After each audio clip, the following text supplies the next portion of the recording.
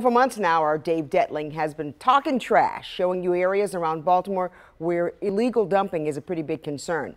Today, we learned about an effort to combat the problem. Mayor Brandon Scott and DPW announced a new pilot program aimed to help keep the city clean.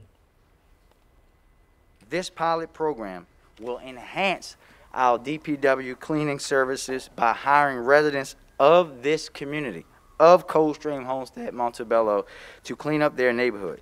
Three residents will be hired as a part of this pilot, paid $15 an hour to clean streets and, and alleys across Chum.